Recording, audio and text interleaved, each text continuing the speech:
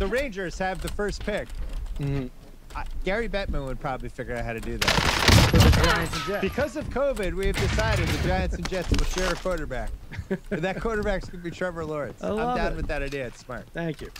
All right, our next one. The Lions are at the Jags. I think there will be fans at this game. Not sure if that's good or bad for the Lions. I have the Lions favored by one and a half. All I like the Lions. I was uh, lost here. I said Jacksonville is moving minus in. two and a New half. safe zone located. One of us is very wrong. House? I, I like the Lions by two. Yeah. House gets it. Lions by three. That is steep. Wow. Steve, What do we like about the Lions? I mean,